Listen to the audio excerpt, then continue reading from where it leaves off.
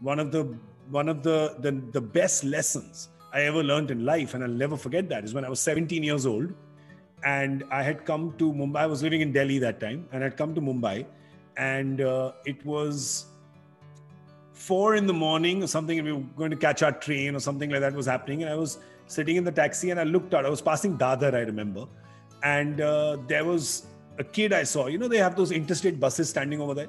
There's an interstate bus standing there at four in the morning. There's this kid, kid, couldn't be more than 13, 14, standing on a step ladder. He was cleaning that window, right? It was his job. He was probably the helper on the bus. It was his job to, to clean that bus. He was cleaning that window with a level of dedication that I've not seen in CEOs, right? He was going way above and beyond what he had to do. We were at that red light for a good minute, and in Mumbai at four in the morning, also people adhere to red lights, which is great. and I was looking at him for a good minute, minute and a half. That boy was going at that window like his life depended on it. For me, that moment was such a watershed moment because it that was the moment that I decided that I wanted to live and work in Mumbai, right?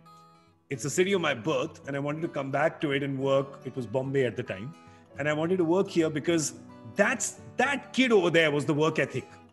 That kid over there is the work ethic that I aspire to even now.